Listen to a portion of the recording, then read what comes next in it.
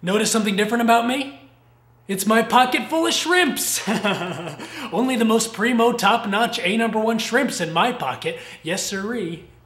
Hey, hey, quit eyeballing the shrimps, buddy. There ain't gonna be no taste test. I'm actually holding these for a friend. Do you think he'll notice we've been tampering with his shrimps?